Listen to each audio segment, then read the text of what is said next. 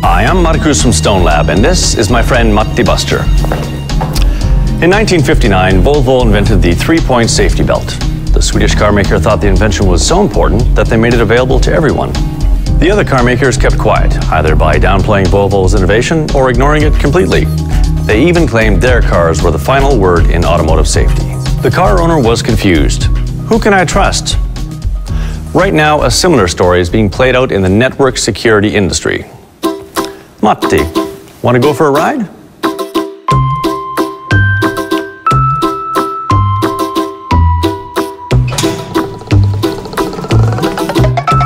Of course, in the real world, driving without a seatbelt is no comedy act.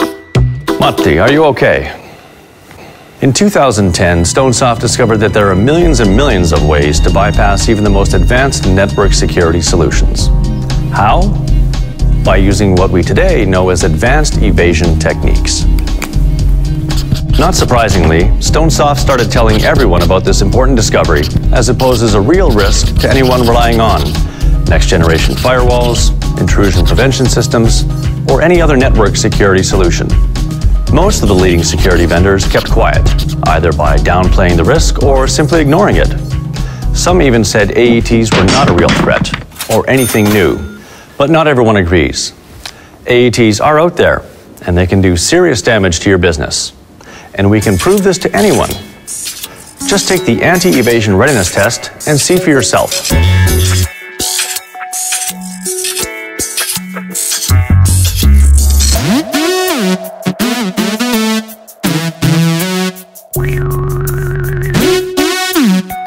In the last 50 years, seatbelts have saved over a million lives worldwide, making the world a safer place.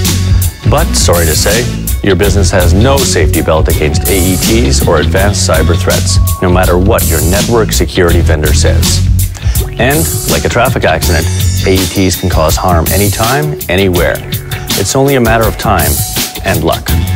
In fact, how would you feel if you unintentionally destroyed your company's reputation or your most valuable assets were stolen? The good news is you can protect your business against AETs. One safety belt is all it takes to save your business and your life.